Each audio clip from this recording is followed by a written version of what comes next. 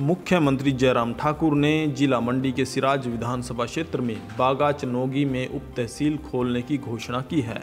उन्होंने सिराज क्षेत्र के अपने एक दिवसीय दौरे के दौरान विधानसभा क्षेत्र में लगभग तेरह करोड़ रुपए की विभिन्न विकासात्मक परियोजनाओं के शिलान्यास व उद्घाटन किए। बागा चनोगी में उपस्थित विशाल जनसभा को संबोधित करते हुए उन्होंने कहा कि इस क्षेत्र के लोगों ने पिछले दो दशकों में उन्हें पूर्ण समर्थन दिया है। जिसके लिए वह इस क्षेत्र के लोगों की आशाओं के अनुरूप कार्य कर रहे हैं। उन्होंने कहा कि दूर दराज क्षेत्र के होने के नाते इस क्षेत्र को कई सड़कों और ग्रामीण सड़क परियोजनाओं से जोड़ने के लिए विशेष बल दिया जा रहा है।